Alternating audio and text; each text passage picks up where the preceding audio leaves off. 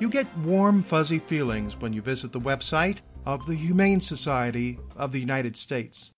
It's full of pictures of cute little animals anyone would want to pet or hug. But the site's news section is missing a very important story. Welcome to Wait Till You Hear This. I'm Steve Eastman. Somehow, the Humane Society site's editor did not think it newsworthy to include the fact that the Center for Consumer Freedom and 77 donors have filed complaints against the charity. Will Coggin of the Center is here with us today to discuss the allegations. Will, thanks for speaking with us. Hey, Steve, thanks for having me. An organization such as the Humane Society of the United States tugs at our heartstrings we suppose that by making a donation, we will prevent the gassing of adorable puppies and kittens. Let me quote from their website We and our affiliates provide hands on care and services to more than 100,000 animals each year, and we professionalize the field through education and training for local organizations. So, Will, you're saying the society is not affiliated with local humane societies that run pet shelters? No, it's not. Even though they have obviously very similar names, you know, we're all familiar with local humane societies that exist in towns and counties across America that run pet shelters, but there's actually no affiliation between those pet shelters and the very similarly named Humane Society of the United States. That's amazing. Uh, just what percent of donations actually go to pet shelters? About 1%. We got that from their tax return. If you look at the tax return for the Humane Society of the United States, you can add up all of the outgoing monies that go from this organization to you know, the local humane societies and other pet shelters across America, and it's only about 1% of their budget. I know there are conflicting statistics. So why don't you tell us what the truth is about the percentage of donations going toward fundraising? Well, if you go to their website and you might come across something that says, oh, only about 20% of our money is spent on fundraising. And that's actually also not true. Again, if you look at their tax returns and you do the math, it's actually more like 50% or slightly more than 50% of the money is used on fundraising. What changes would you like to see the Humane Society of the United States make on the website so that potential donors could make a better informed decision?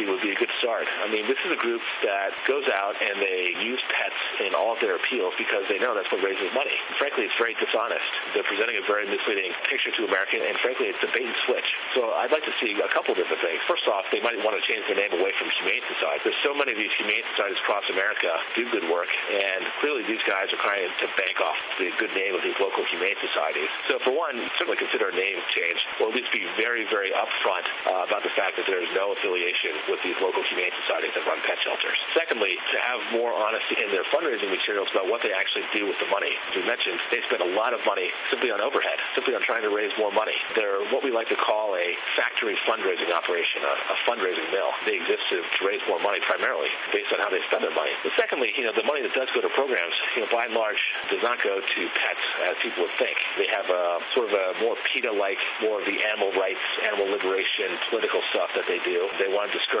people from eating meat or from drinking a glass of milk. Okay, I, I can understand why some people would say don't eat meats, but why not have any milk? Believe in having any kind of animal protein at the end of the day. And so they're, you know, like PETA, they sort of have an ideological, very hardcore animal rights, you could say, belief system of the people who run this Humane Society of the United States. You know, they, a lot of them come from PETA or from very similar organizations to PETA.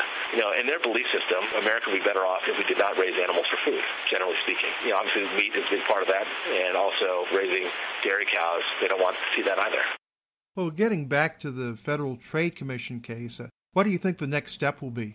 Oh, FTC does an investigation, you know, they certainly have the authority, and they have in the past gone after charities that have not been doing what they've promised their donors. So we're very hopeful there. As well, oftentimes the FTC will work with state attorneys general who also have uh, authority over charities that operate in their state. So in fact, about four years ago, the Attorney General of Oklahoma, Scott Pruitt, who is now running the EPA, he put out a public statement, a public consumer alert about the Humane Society of the United States and their fundraising. And you know, simply he just said, look, you know, we've gotten complaints about how they raise their money, and so he wanted to put out a statement clarifying that if you give money to a national animal group like the Humane Society of the United States, it may not come back to any of their local shelters.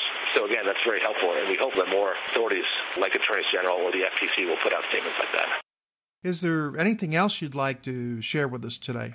With many large charities, generally speaking, and the Humane Society of the United States is one of many. You send your money off, and a lot of it goes into executives' pockets or sits in bank accounts. So if you do care about animals, we always tell people give local. Well, thanks for bringing us up to date on this important issue, Will. Well, thank you, Steve. It's been a pleasure. Will Coggin is Research Director for the Center for Consumer Freedom. You may check out its website at consumerfreedom.com. And, unlike the Humane Society, I believe they carry the story about the federal complaints. This is Steve Eastman for Wait Till You Hear This. Discover more stories like this one on our website, waittilyouhearthis.com.